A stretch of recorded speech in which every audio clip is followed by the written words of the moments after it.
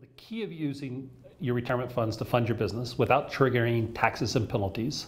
is really the um, movement or the, the relocating of your retirement dollars in a to be formed 401k and having that 401k have your business as one of the investment options.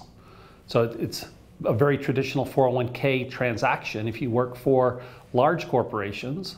uh, an example would be if you work for IBM, participate in the IBM 401k, you can invest in IBM stock.